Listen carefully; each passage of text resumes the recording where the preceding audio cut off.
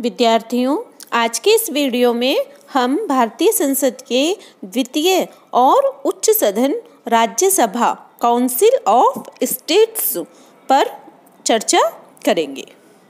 राज्यसभा भारतीय संसद का द्वितीय या उच्च सदन है। संविधान के अनुसे, अनुच्छेद 80 के अनुसार राज्यसभा के सदस्यों की अधिकतम संख्या 250 हो सकती है, परंतु वर्तमान में यह संख्या 245 है। इनमें से 12 सदस्य राष्ट्रपति के द्वारा नामजद किए जाते हैं। ये ऐसे व्यक्ति होते हैं जिन्हें कला, साहित्य, विज्ञान, समाज सेवा या सहकारिता के क्षेत्र में विशिष्ट ज्ञान और अनुभव प्राप्त हो। शेष सदस्य जनता द्वारा अप्रत्यक्ष रूप से निर्वाचित होते हैं।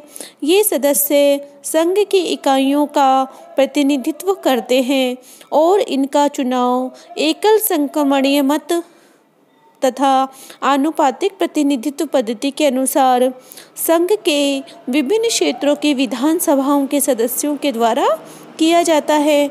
जिन संघीय क्षेत्रों में विधानसभाएँ नहीं होती, वहाँ पर राज्यसभा के सदस्यों के चुनाव के लिए विशेषतः निर्वाचन मंडल गठित किए जाते हैं।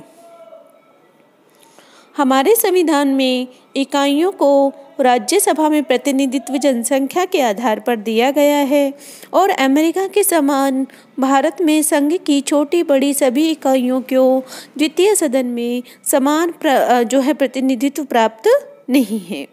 इस संबंध में संविधान यह व्यवस्था करता है कि एक राज्य की जनसंख्या के प्रथम 50 लाख व्यक्तियों तक हर 10 लाख व्यक्तियों के लिए एक और उसके बाद 20 लाख पर के हिसाब से 20 लाख पर एक के हिसाब से प्रतिनिधित्व प्राप्त होगा। रचना की दृष्टि से हम देखें तो इसकी योग्यता हमने देखा कि किस तरह से इसका संगठन होता है। और पाँच जो संघीय क्षेत्रों, जैसे कि अंडमान, निकोबार आइलैंड है दमन द्वीप लक्षद्वीप, चंडीगढ़, दादर नागर हवेली को राज्यसभा में जो है प्रतिनिधित्व प्राप्त नहीं है। है ना? और इसकी सदस्य की योग्यता के संदर्भ में हम देखें तो सबसे पहले राज्यसभा का सदस्य जो व्यक्ति बनना चाहे या उसके लिए योग्यता है तो वो है पहला भारत का नागरिक हो। दूसरा उसकी आयु तीस वर्ष से कम की नहीं हो। तीसरा वह किसी के लाभ के पद पर आ, पर न हो विकृत मस्तिष्क का न हो यानी पागल कोड़ी दिवालिया नहीं हो।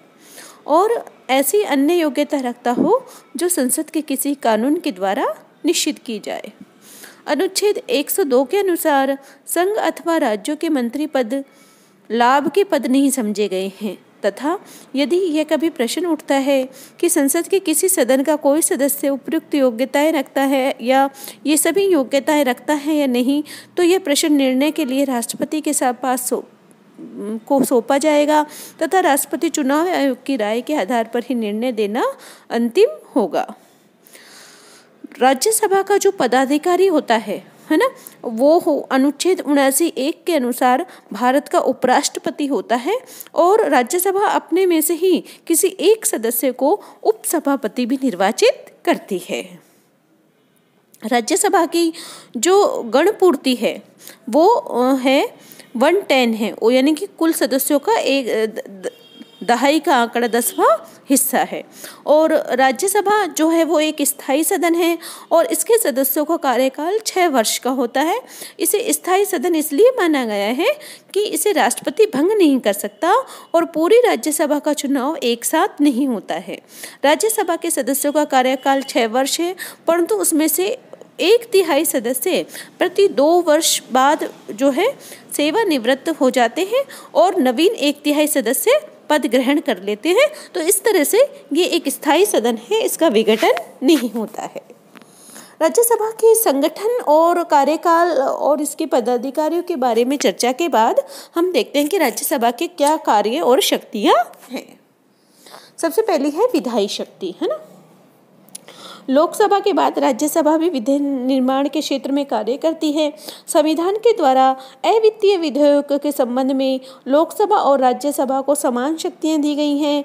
अवित्तीय विधेयक लोकसभा या राज्यसभा दोनों में से किसी भी सदन में पहले प्रस्तावित किया जा सकता है और दोनों सदनों के पारित होने के बाद ही राष्ट्रपति के पास हस्ताक्षर के लिए भेजा जाता है। व्यवहार में स्थिति यह है कि सामान्यतः सभी महत्वपूर्ण विधेयक लोकसभा में ही प्रस्तावित किए जाते हैं राज्यसभा में नहीं, है ना? यदि दोनों सदनों में से किसी विधेयक पर मतभेद उत्पन्न हो जाए तो राष्ट्रपति के द्वारा दोनों सदनों की संयुक्त बैठक बुलाई जाती है और विधेयक एक सदन में स्वीकार किए जाने के बाद यदि छः महीने की अवधि के अंतर्गत दूसरा सदन उसे स्वीकार नहीं किया है तो संयुक्त अधिवेशन के भाग्य के में जो है निर्णय बहुमत के आधार पर किया जाता है। तो इस प्रकार औपचारिक दृष्टि से अवित्तीय विधेयक के संबंध में दोनों सदनों की शक्तियाँ समान स्तर पर है, लेकिन चूँकि संयुक्त अधिवेशन बुलाने की शक्ति राष्ट्रपति को है और राष्ट्रपति द्वारा यह कार्य मंत्री परिषद के परामर्श के आधार पर किया जाता है मंत्री परिषद लोकसभा के प्रति उत्तरदायी होती है। अतः बहुत अधिक संभावना यह रहती है कि संयुक्त अधिवेशन बुलाने के संदर्भ में मंत्री परिषद लोकसभा के दृष्टिकोण को अध्ययन को ही ध्यान रखेगी।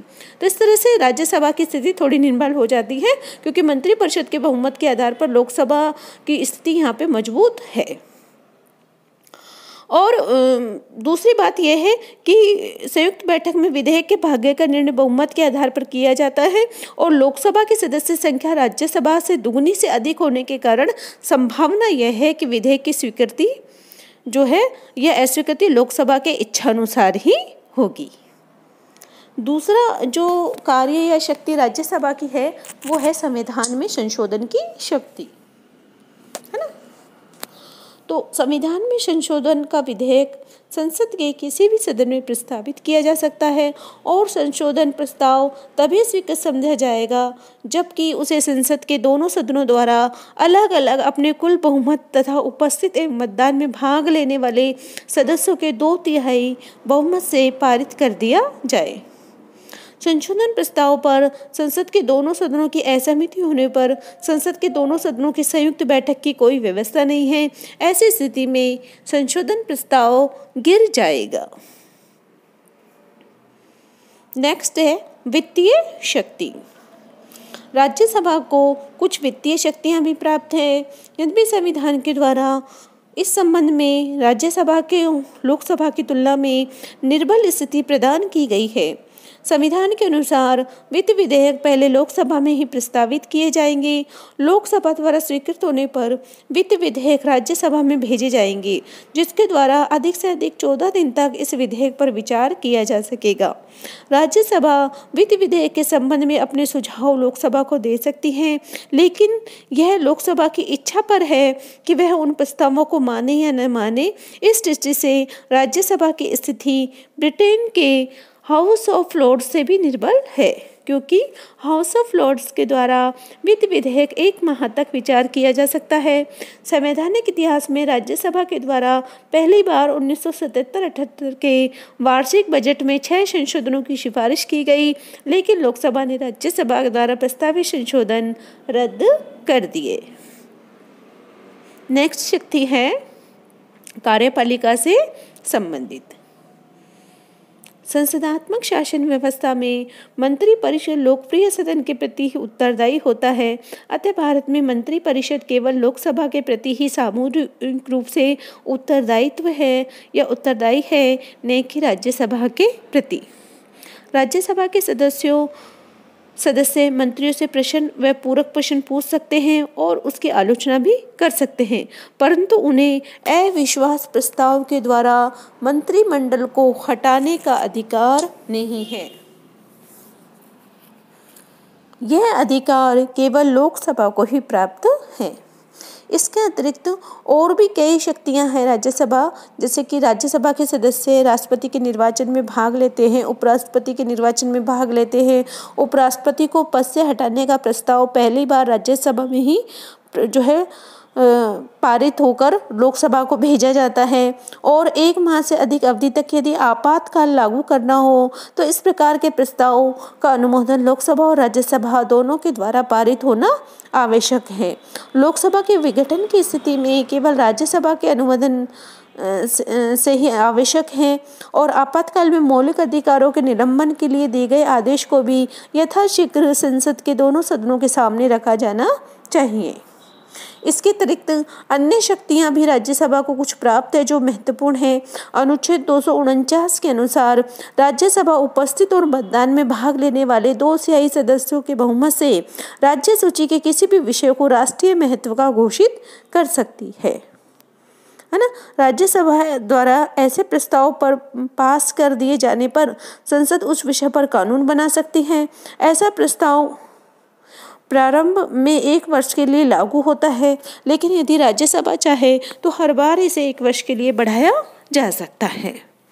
दूसरी है कि अनुच्छेद 312 के अनुसार राज्यसभा अपने दो तिहाई बहुमत से प्रस्ताव पास कर अखिल नई जो है, अखिल भारतीय सेवाओं की स्थापना करने का अधिकार जो है केंद्रीय सरकार को दे सकती है।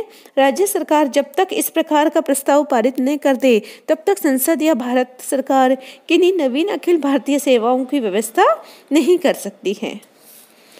तो इस प्रकार हम देखते हैं कि राज्यसभा न केवल द्वितीय सदन, वरन द्वितीय महत्व का भी सदन है और शक्तियों की दृष्टि से उसकी स्थिति जो है लोकसभा तथा अमेरिकी सीनेट से बीच से कहीं अधिक बीच में ही कहीं है। है ना? तो वास्तव में संविधान निर्माताओं के द्वारा राज्यसभा को प्रथम सदन के सहायक और सहयोगी सदन की भूमिका ही प्रदान की गई है, प्रतिद्वंदिता की नहीं।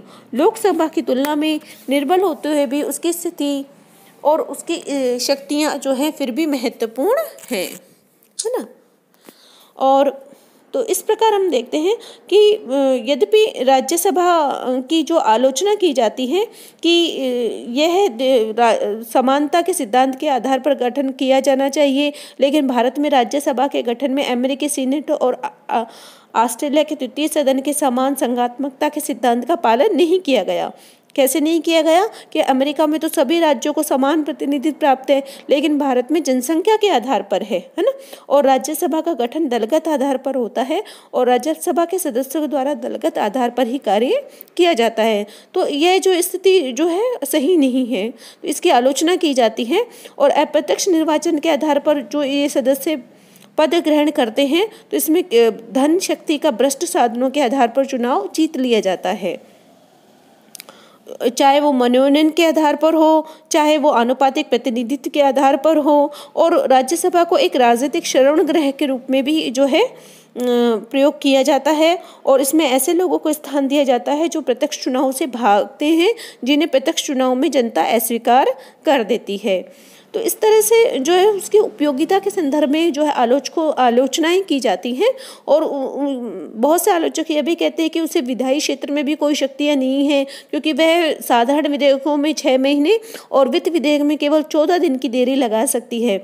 इसके अतिरिक्त जो राज्यसभा को वित्तीय और अवित्तीय विधेयकों के संबंध में देर लगाने की जो शक्ति प्राप्त है, वह हानिकारक सिद्ध हुई है है ना? और विशेष परिस्थितियों में बहुत ही हानिकारक सिद्ध हो सकती है। तो आलोचकों के अनुसार लोकसभा की कार्यवादी कार्यविधि और गठन ही इस प्रकार का है कि इसके द्वारा कानून निर्माण में न तो अनावश्यक जल्दबाजी को अपनाया जाता है और नई निरंकुशता को। तो इस प्रकार लोकसभा पर थोड़ा सा अधिक अंकुश रखने के लिए राज्यसभा का कोई औचित्य नहीं है। लेकिन इन आलोचनाओं से जो है लोकसभा तथा राज्यसभा के पारस्परिक विरोध की घटनाओं के बावजूद राज्यसभा का अस्तित्व पर्याप्त उपयोगी और लाभदायक है, क्योंकि यह अनेक ऐसे कार्य करती है कि उन सभी कार्यों को करती है जो परंपरागत रूप में द्वितीय सदन के द्वारा किए जाते हैं। और भारत जैसे विशाल और संघात्मक व्यवस्था वाले देश के लिए संघात्मक व्यवस्थापिका का द्विसदनात्मक होना नितांत स्वाभाविक और आवश्यक है। तो यद्यपि उसके कुछ आलोचनाएँ या कमियाँ हो सकती हैं, लेकिन हमारी संघीय प्रणाली को सुरक्षित रखने के लिए और उस पर अंकुश रखने के लिए, लोकसभा पर अंकुश रखने के लिए दो सदनों का होना नितांत आवश्यक है। धन्यवाद।